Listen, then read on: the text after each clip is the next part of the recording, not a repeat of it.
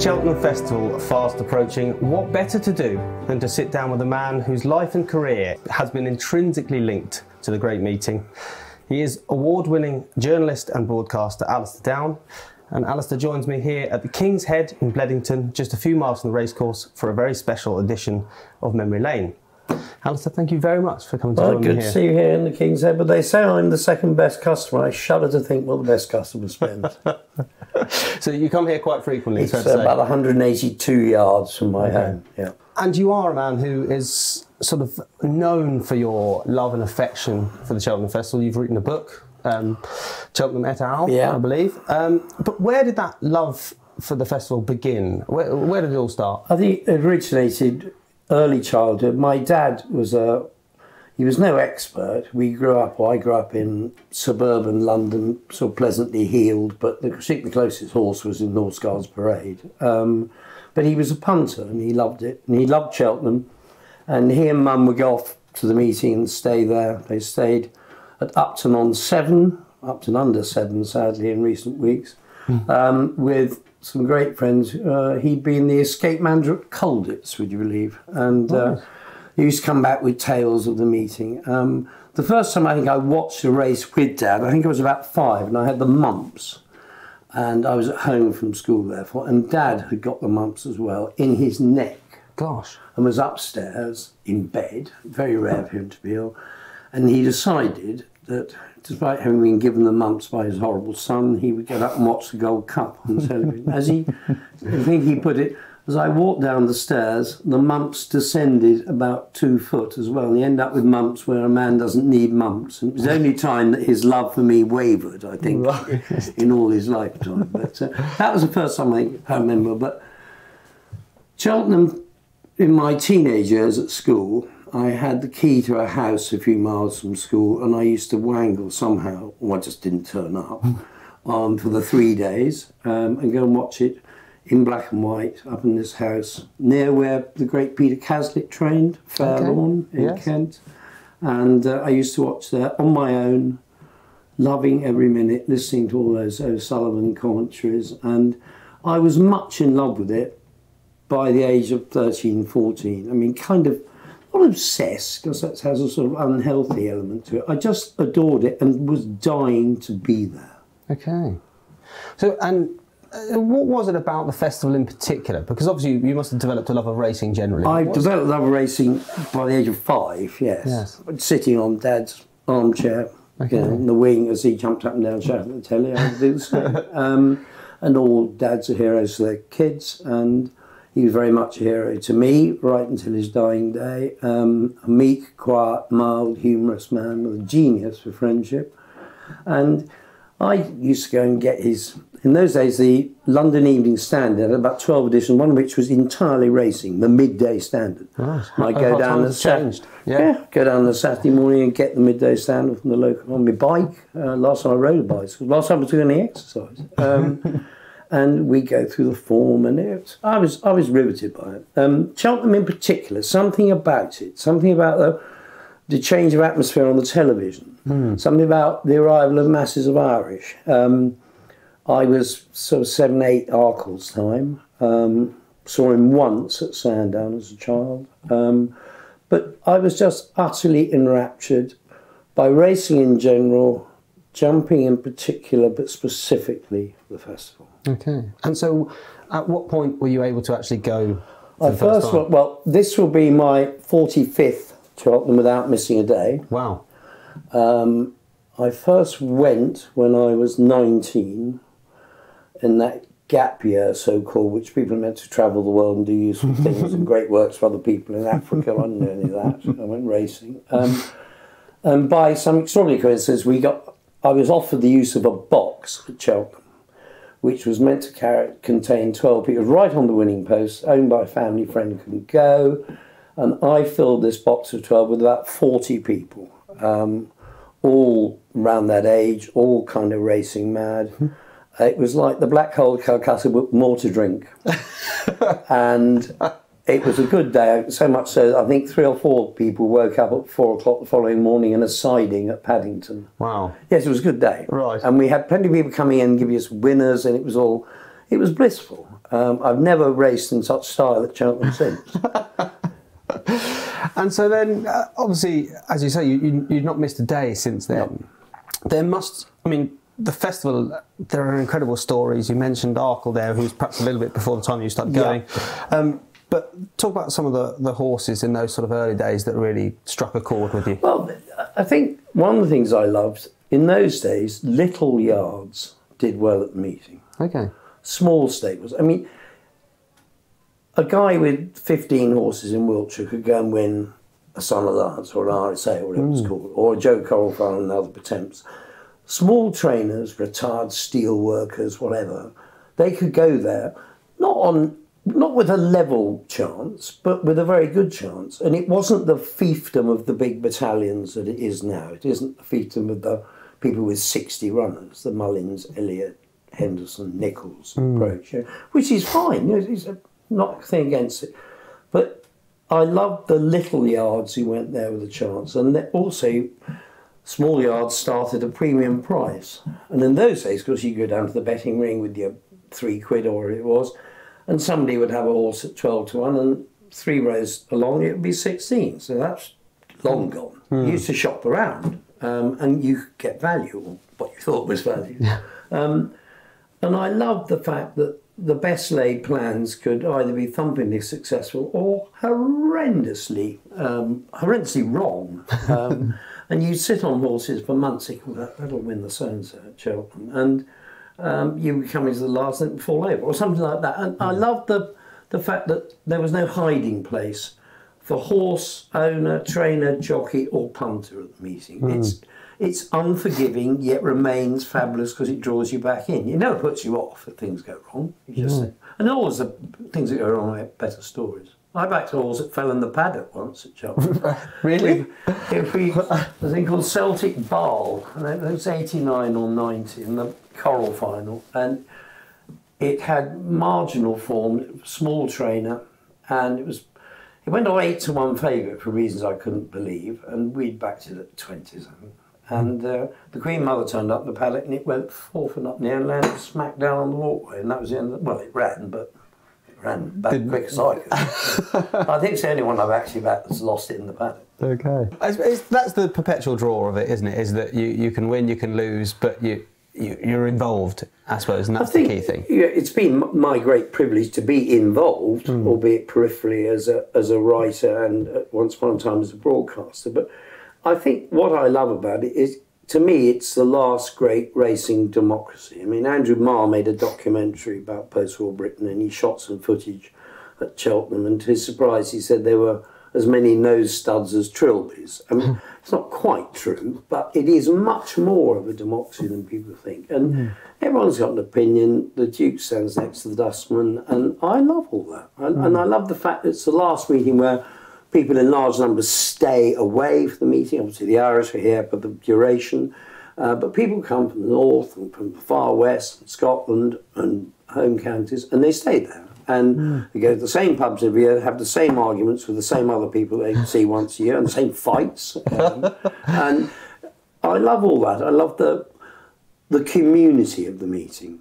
And we're there, yes, we're there to watch the racing, watch great deeds, have a bet, but we also go there because we know that every year, two or three things I wrote years ago will happen that nourish the soul. They're just magical moments. And I can't find that anywhere else. And for atmosphere in sport, there's nothing to match it. So, talking of those moments that nourish the soul, are there any that really stick out to you that you'll never forget? Oh, countless. Um, and th- th- this is the appeal of the thing, isn't it? I mean, every year you're as excited as you were the year before. And every year it gets bigger, the meeting. Some say too big, I don't. It would be too big if it went to five days, and it won't happen because there'll be a dead body at the main entrance, mine. um, I think that would be a disaster for the meeting. There, it's hard to avoid the cliche memories in a sense, but for drama, spectacle, emotion, I think Dawn Run's Gold Cup is would be my desert island race from that Okay. the meeting. Um, I'd my first ever visit to Ireland a couple of years before when Dawn Run was a novice hurdler. And I went to see Paddy Mullins, Willie's dad, um, and was fussed over by Maureen, who's still about age 120 and still doing the play spot and still as enthusiastic as ever, and still full of beans. And I sat down with Paddy, who'd been a bit of a childhood hero. Anyway, we chatted away. I had an hour with him, but turned into two and a half or three. And I left convinced that Dawn Run was the best horse he'd ever trained. And this is a man who trained every winner under National Hunt Rules in Ireland and mm. trained champion stakes winners and all sorts. And so we backed Dawn Run for the for the novice hurdle, and the lad who was meant to ride her got injured, and Ron Barry was entrusted with the ride, and his orders were quite simple go off in front, and every time you think you're going too fast, go faster. Right. And when you think it's impossible to go any faster, go faster again, and she will do it. Wow. And dear Ron, to his um, lasting credit, in inverted commas, gave her a breather down the hill. Uh, they got to her, and she was beaten by a top class racehorse called Sabin du Loir with an hmm. unknown 50 to 1 shot in third place, West Tip. Was some novice her. Yes. But I was a, a die-hard fan of hers from then on, and when she rallied that day from the last, to watch it in the flesh uh, was to see wonders unfold in front of your eyes because mm. she was beaten for all money. Um, she was going to finish fourth, and she won. And the post-race scenes, Charmian Hillion I been carried around the paddock, and she was 70 odd and been riding the horse in races. Right. Oh, God. I didn't know that. In Ireland. Yes. Yeah. She was a strong willed woman. well, you did uh, mention earlier about the fact that you were obviously a broadcaster for a long time. And mm-hmm. I have to say, um, part of my love of the festival and, and racing in general is, is owed to the Channel 4 coverage of that time you know, you only needed to say "Welcome back to Cheltenham, everybody," and the hairs on the back of my neck were standing up. But that really Mine was were already. Yeah. that really was a great team. I think it was great. I think it was a great team, and it was great fun to do it. Um, and I think Andrew Franklin, who was the genius presiding over the thing, um, who invented Channel 4 racing, I think his contribution to the status and the ever increasing momentum the meeting has in the sporting calendar is not to be underestimated. I think their coverage um, was a huge help to the meeting. It okay. brought the me, it brought the, it took the tweediness out and brought the contact in. Yes. You know, it was when the program started, it was like the curtains opening. You just saying that, "Come on in, this is it. You can't be here, but we, we're going to bring bring it to you." Mm. And it was a thrill to it was a thrill to do it. Um, you know, I've had those days where you've I remember the Gold Cup long run one when um, Kauto Star and Denman were blitzing each other down the hill. I think I said like two mad old pensioners out for a last hurrah. And just watching it, talk about hair standing up the back of your neck, I just thought, let's get this program over and get me at that laptop. I just want to write down what it felt like to watch that. Okay. And I'm emotional right now. Yeah. I'm very hardwired into the meeting. You know, I've seen disasters there, and tragedies there. Yes. To horse and to human. Um, yes, it's great celebration, carnival, all fête, as the French would say, but it's very hard edged. And the tiny gap between triumph and disaster can just grow into an abyss. Mm. And you're always aware of that in the back of your mind. That, and you talk to people who know the place well, say from the saddle. You know, you listen to, I've sat and talked endless nonsense with Ruby Walsh down the years, but to listen to him talk about how to ride it and the things you try not to do mm. um, is fascinating because it takes you out there mm. and you suddenly get you get into your head something we don't do when we watch races that jockeys, the good ones, are thinking about a dozen things a minute mm. outside of what they're actually doing on their own horse.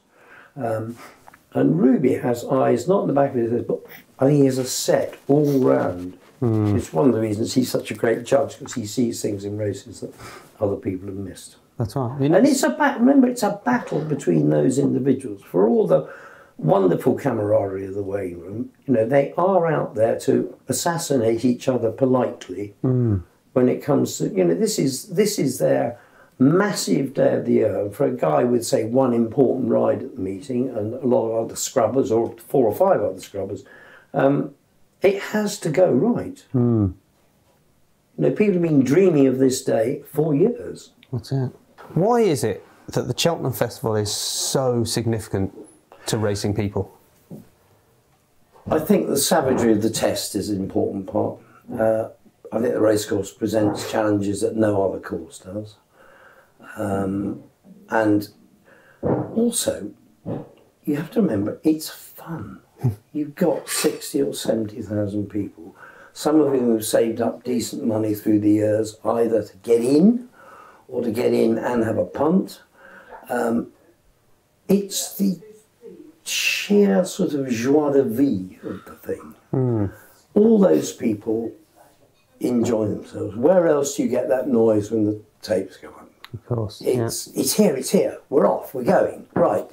Hold on for dear life, and you have to. And I like the fact that uh, money has little value. It's like something out of a board game. You go to the spoil sport on the wall and say, "I want more. I want more. I want more." Um, and it doesn't really matter. We get caught up in it hopelessly, and it's as intoxicating every year as the previous one. Hmm. Yes, there are vintage meetings and meetings, that, but they're never anything other than brilliant. Just sometimes they transport you to places you didn't really think you could possibly travel to. And I love the fact that you are one of tens of thousands, all hell bent on the same piece of passion for four days. And there's nothing else like it. My kids never miss a day at the festival, but they wouldn't know there was a racecourse anywhere else in the country. This just mm. happens.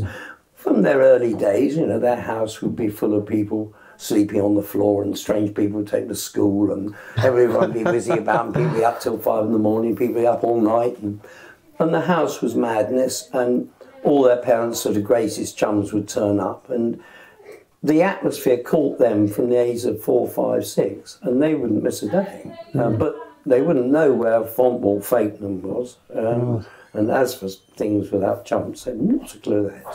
But they wouldn't miss a day, and all their mates. And what I love is that the fact that that generation in their 20s are as passionate about it as aging loons such as myself. And I love the fact that it transmits across the generations, mm. and that's another part of the democracy of celebration that the place offers. There's- nowhere like it, and once that atmosphere has been tasted, people will go back year after year, come hell or high water. As you have, and you will continue Yeah. to do so. Damn right. Yeah. Alastair, thank you very, very much. That's fantastic.